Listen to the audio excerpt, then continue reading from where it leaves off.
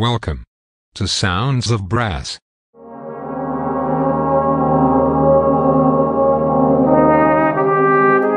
Sounds of Brass is proudly sponsored by Stratos Brass. Say goodbye to mouthpiece pressure and hello to an optimized embouchure with the revolutionary one size fits all Stratos Performer. Compatible with all brass instruments, it's your key to clearer, stronger playing, giving you more stamina than you ever thought possible. Get yours now for just £79.99 at stratosbrass.com. Exceed your expectations every time with the Stratos Performer.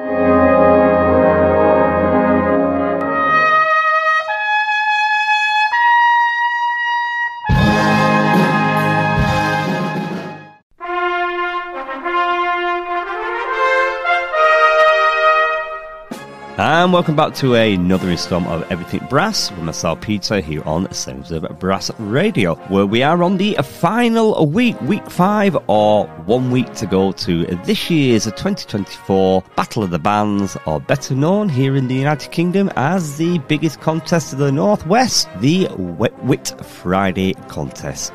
So, as always, sit back, relax, and enjoy the show.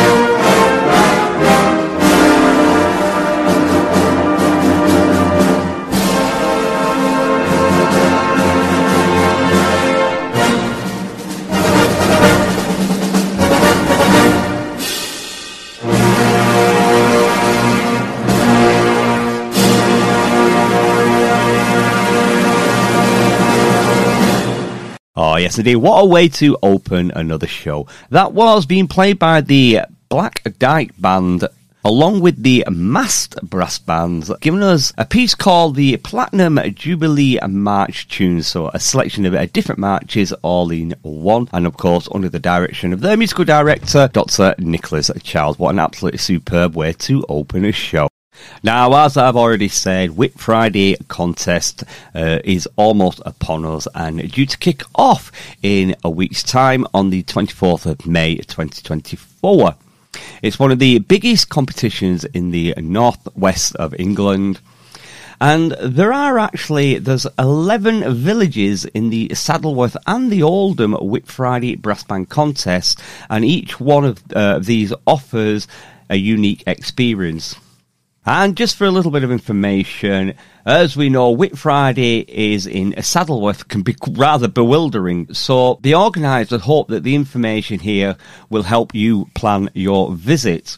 Now, 11 band contests take place on the evening of Whit Friday, and although very close geographically, they are completely independent of each other. Each contest has its very own rules, organisation, and prizes. However, bands who compete in at least six of the contests are then eligible to win one of the co- uh, coveted Saddleworth and Oldham Whit Friday band contest area prizes. Now, unfortunately, this means that on Whit Friday evening, there can be as well, there can be as many as a hundred coaches driving around these very little villages, trying to get their bands to as many contests as possible. As the Whit Friday events organisation has said uh, each village has their own rules and all they ask is you enjoy yourself and definitely be safe and be sure if you're going to turn up in a vehicle get there early and park up. Otherwise if you get there late you may struggle at getting around as a lot of the roads are actually closed off I want to take you to a march now that uh, was written and composed by Frank Seymour. It's being played by the Foden's Motorworks band. Here is the Buccaneer.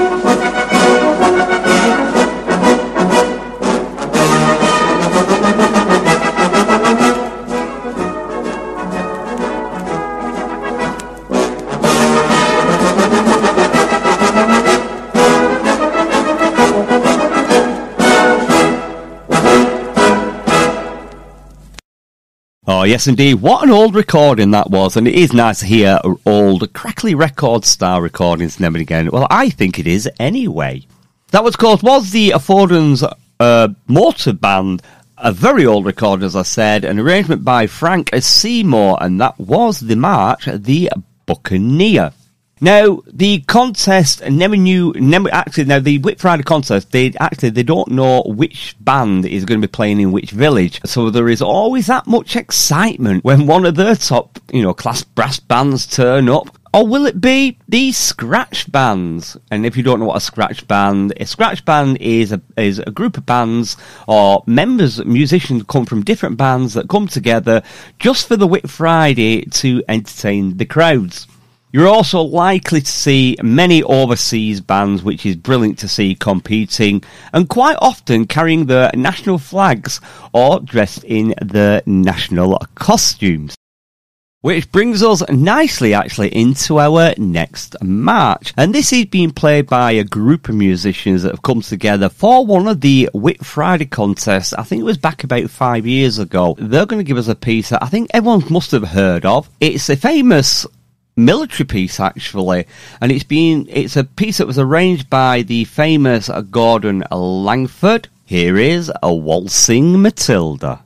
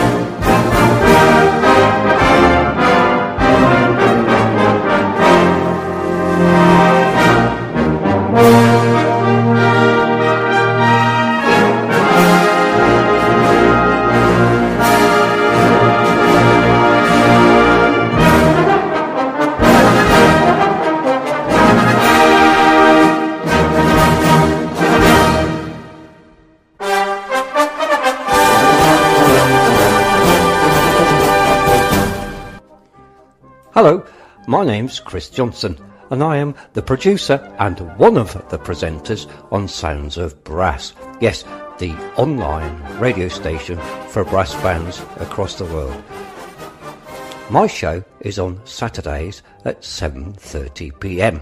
I've been involved in brass bands for many, many years, and uh, I thought it was about time that brass bands had their own place in the world across the internet.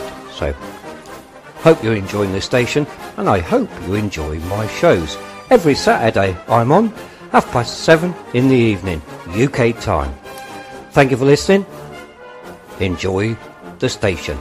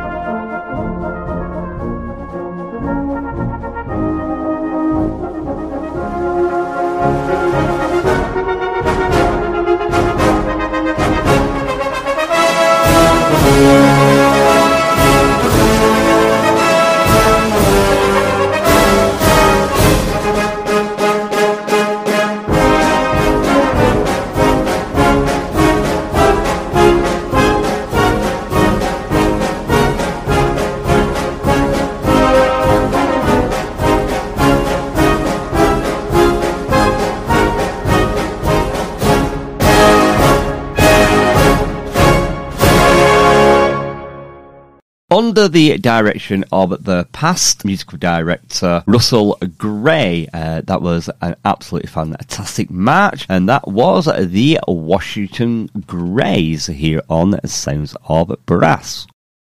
It's now time to take a journey or a trip over to the Salva International Band, sorry, of the Salvation Army, with a piece that was written and composed by the bandmaster George Marshall, which was first published in the musical Salvationist back in April 1937. Here is the International Staff Band of the Salvation Army giving us their march of Silver Star.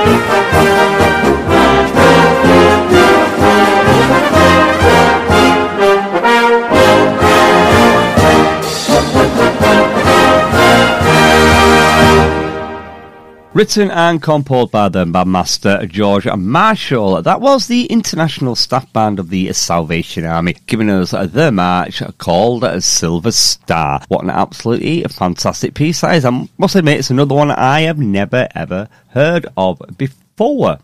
Now, as the, as we all get hyped up and get ready, excited for this year's 2024 Whit Friday marching Contest, so are so are our youth bands as well. Now, it's, it's always a treat to see the younger generation, especially from our youth bands, compete for their own section prizes. Now, you've got to be, take one thing in mind, these youngsters, some of them, it's the first time they've ever done this, so it's absolutely thrilling for them. So, if you're at any val- villages, uh, this year listening to the youth bands, expect lots of appreciative uh, applause and um, and also by all means join in as well and give them as much support as you can. Because at the end of the day us musicians we're not getting any younger and they are they are our brass bands of the future. Now all contests have a street march uh, when the band can play a, non-traditional piece of music. Now, if they wish, and audiences will line the streets, and believe me, they do, to watch uh, watch them march by, and that's only the first part of the actual contest is a march. Once they've done the marches, they then go on to the bandstand, and they will do what you call a static march as well. So there's a little bit more insight on what to expect for all you newbies that has never been to Whit Friday Parade. And believe me, when I say I think you'll go away wanting it all over again. It's just a shame it only lasts for one day. It really is.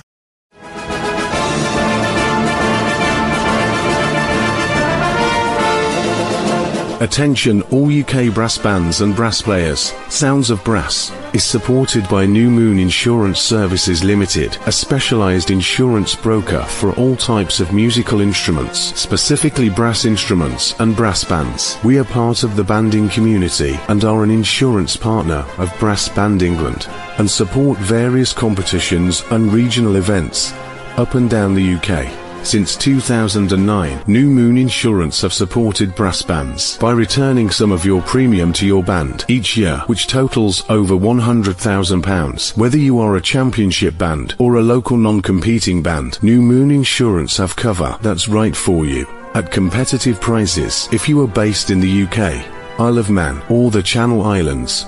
For either your band insurance or specialist cover for your own instruments, why not give New Moon Insurance a call? On 01892 280 323 or visit newmooninsurance.com.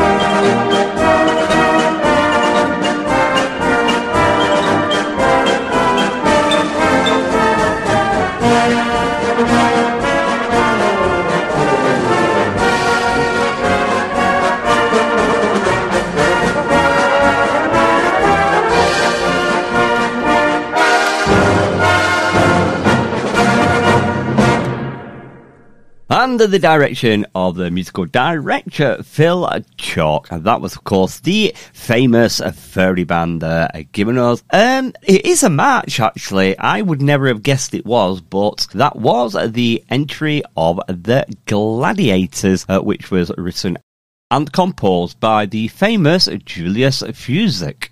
Now, as I've always already said to you, that once the match has been completed on the Whit Friday, then obviously the bands do a, a static piece. Now, the contest piece is usually then played on. It could be on a stage, or it could actually be on a bandstand, a village green. It's even been done on the back of a flatbed truck before now. Now, all bands take this part of the concert extremely seriously. Whether they are smartly dressed in their traditional brass band uniforms or even in fancy dress, and believe me, that happens as well. Now, every band will want to be play their very best and win uh, one of the section prizes in the individual contest or the overall area prizes. And if there's one thing I can't stress more out to my listeners who may be thinking of coming watching the Whit Friday this year, uh, and I said it at the beginning of the show that general vehicle access is very restricted, and I mean it is very restricted to the contest with temporary no parking zones and road closures around the area. So please, please check beforehand so you know you can get in with uh, a vehicle. And if you want more uh, information to do with the Whit Friday, then why not go to the website uh, saddleworthwhitfriday.co.uk where you can find all the information you need including the areas that they're going to be playing in. And just as a recap for you, the 11 villages they're actually going to be doing this year is in Delph, in Denshaw, Diggle, Dobcross, Friezlands, Greenfield, Grotton, Lees and Springhead, Lydgate, uh, Scout and Austerlands in, and of course the Uppermill area as well. We're going to take you back to the international band of the Salvation Army now with a march that was written and composed by Barrie Gott. Here is the march Collaroy.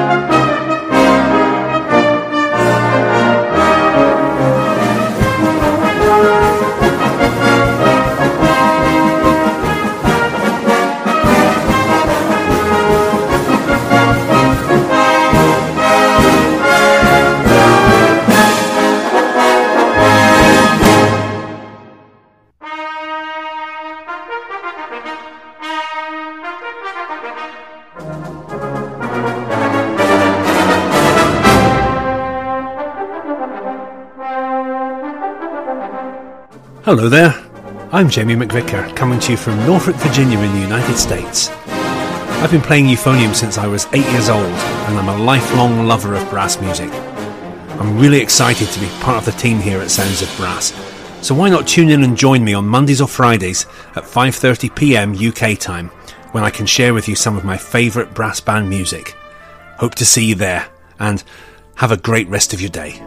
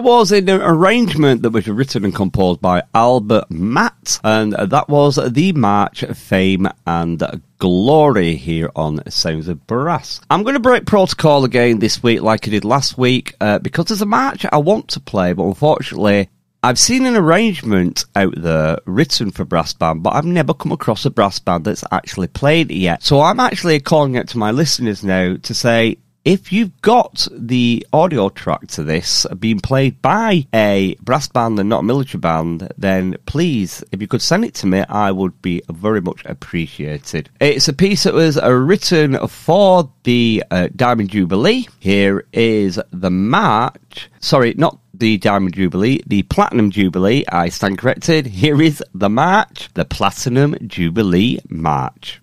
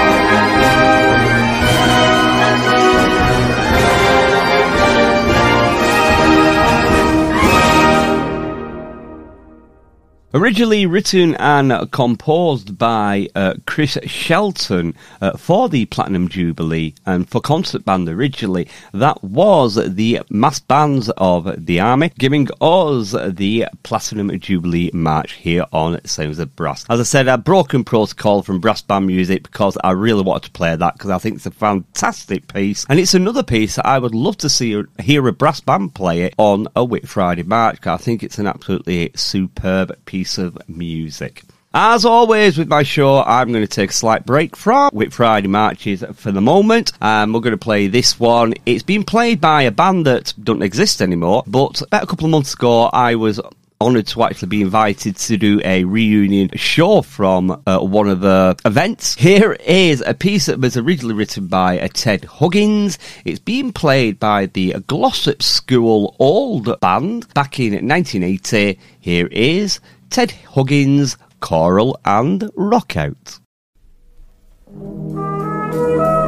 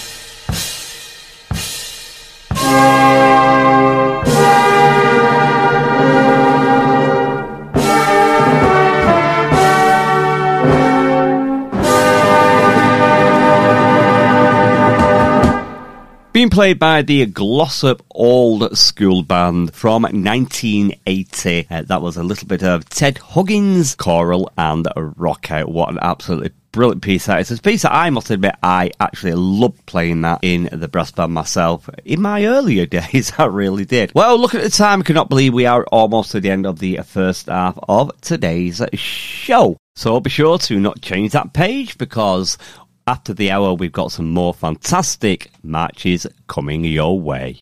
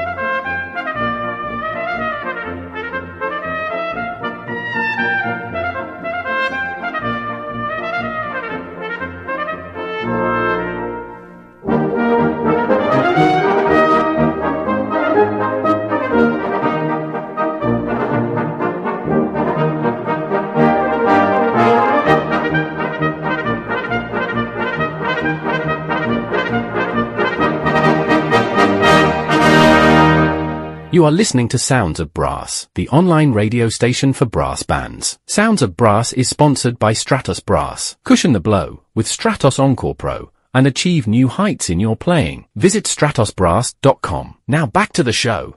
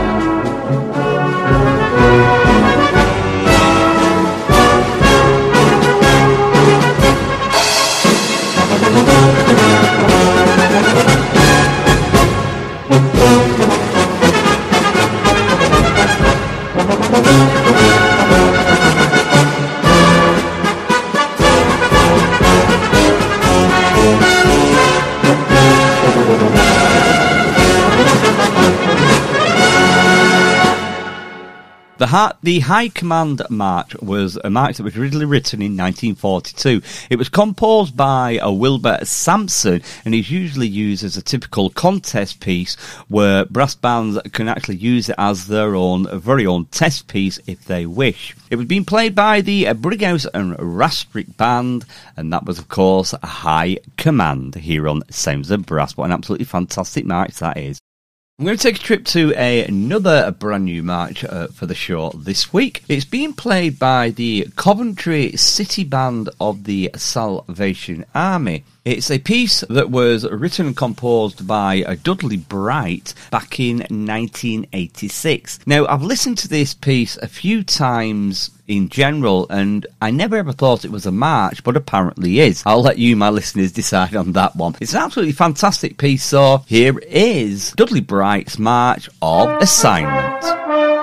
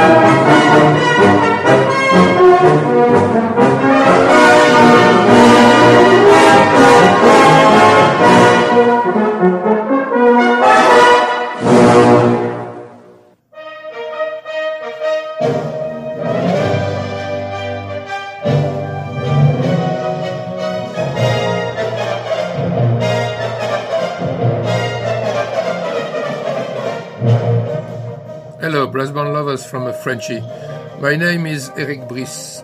I am French horn teacher and principal French horn player in a symphonic orchestra, but I also play tenor horn and I conduct a brass band in northern France in the lovely city of Amiens. I am really happy to be part of the Sounds of Brass presenters team. I want to interest and surprise you during my show and bring you the Sounds Brass ensembles, a bit of brass quintet, and above all, magnificent international music for brass band. You can listen to my show twice a month on Thursday 6 p.m. UK time. Thank you for listening and enjoy my show.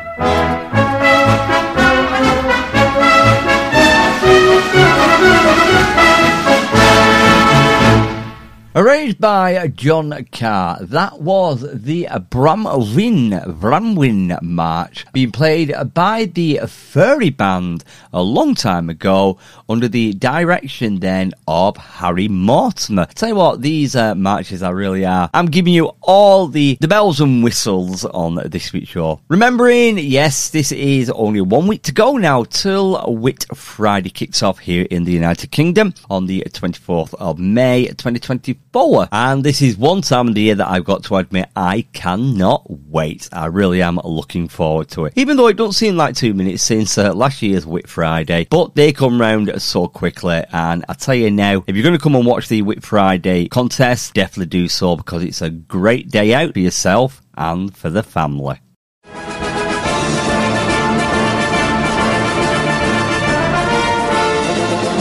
Attention all UK brass bands and brass players. Sounds of Brass is supported by New Moon Insurance Services Limited, a specialized insurance broker for all types of musical instruments, specifically brass instruments and brass bands. We are part of the banding community and are an insurance partner of Brass Band England and support various competitions and regional events up and down the UK. Since 2009, New Moon Insurance have supported brass bands by returning some of your premium to your band each year, which totals over £100,000. Whether you are a championship band or a local non-competing band, New Moon Insurance have cover that's right for you at competitive prices if you are based in the UK, Isle of Man or the Channel Islands. For either your band insurance or specialist cover for your own instruments, why not give New Moon Insurance a call on 01892 280 323 or visit newmooninsurance.com.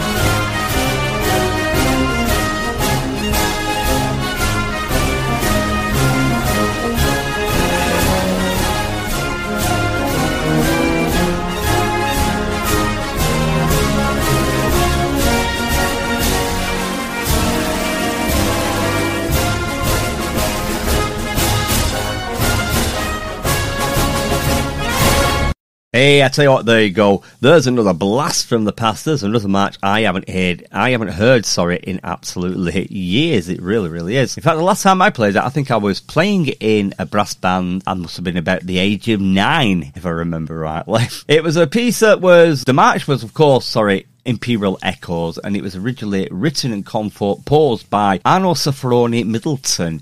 And of course, for all you listeners that may have just joined us, or it might even be your first time tuning in to Sounds of Brass. First of all, welcome. And secondly, remember if you want to catch up with any shows that you may have missed and you want to listen to them again, why not pop over to YouTube, type in the search engine, Sounds of Brass, where you can catch up with all past shows that have been on and you can listen to them at your heart's content. Well, we're going to take a quick break from our Whit Friday countdown for the moment for our next piece. As last Saturday, myself and presenter Eric Brice was back in Blackpool at the Winter Gardens for the Open Brass Band Championships, which were held at the Winter Gardens in Blackpool, as I just said, uh, where we got to meet a lot of our Sound of Brass listeners, and it was absolutely fantastic to meet a lot of you, and it was actually brilliant to listen to a lot of the bands as well. So I thought I'd play one of the pieces that was played last Saturday. It's an absolutely fantastic piece that was arranged by the composer Bert Appermont. Here is an absolutely fantastic concert piece. I'm hoping you're going to enjoy it. It's an absolutely brilliant piece. I, I know I keep saying that, but it is. Here is a Brussels Requiem.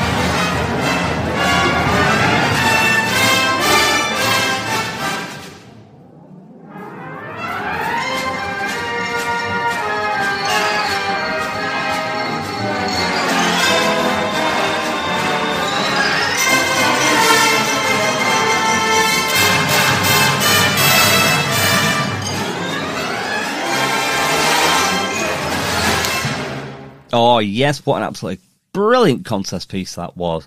Uh, that was a, a Brussels Requiem and being played by the Skelmanthorpe Brass Band live from last Saturday's Brass Band Championships at the Winter Gardens under the direction of the musical director Jonathan Bates. Absolutely brilliant piece. Hi, this is Annie Dehaney Stephen from Bethnal Green in London. My show, well, it tends to be a mixture of memories and stuff I find lying about on the web and on my virtual CD shelf. But if I hear a piece I like played by other than a brass band, I will search for a brass version. I play what I like, what interests me, and what I think might interest a, listener like me, someone with broad musical tastes, including but not restricted to brass band music. I play in bands, but I sing jazz, and there are few genres of music that I don't enjoy. So I place brass band classics and test pieces next to cheesy pop, jazz, and funk, and I always include a couple of cool down numbers. I hope that listeners will find something they like in each show. My show airs on Fridays at 7:30 p.m. UK time with another chance to hear it on Tuesdays at 7:30. It would be lovely to have you there. Going to take you to a march now, which was actually the first piece of music that I played after taking a 15 year, yes, a 15 year break from playing. I actually stopped playing for quite a while, and then I got asked to help last year's Whit Friday, and this march that's coming your way now is the first piece of music that I'd played in a long time. It's an absolutely fantastic march. It's a march that was written and composed by by Robert B. Hall. Here is The New Colonial.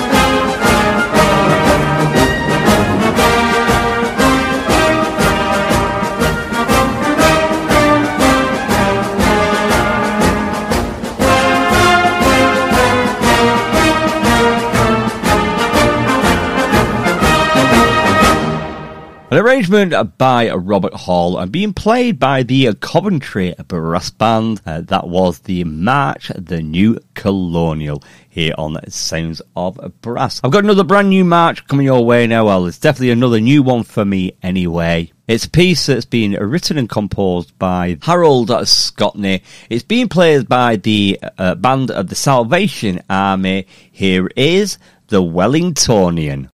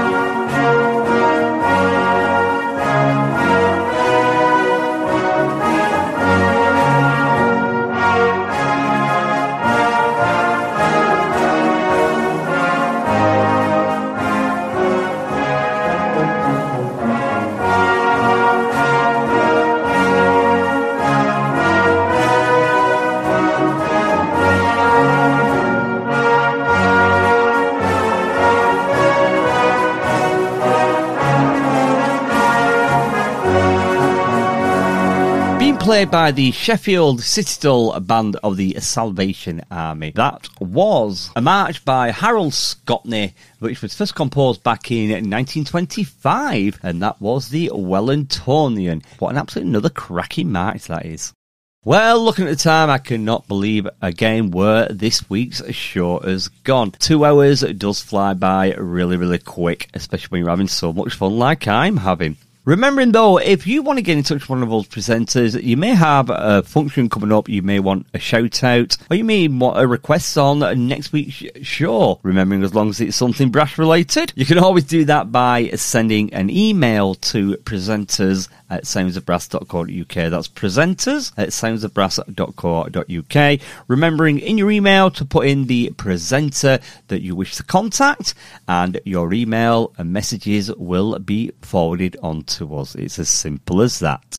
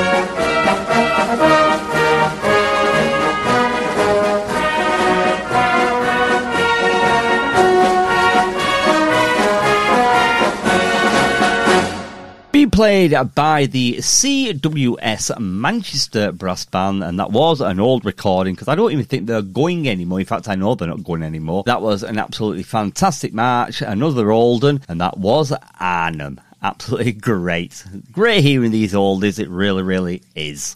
Well, as I've already said, time is very, very quickly approaching us now, and we are very quickly come to the end of yet another show. So, what I thought I'd do is I'm going to put a little bit of a back to back of two marches together because I want to try and give you as much marches as I possibly can. And I'm going to start with this one. It's being played by the Leyland Band, and here is Royal Tiger.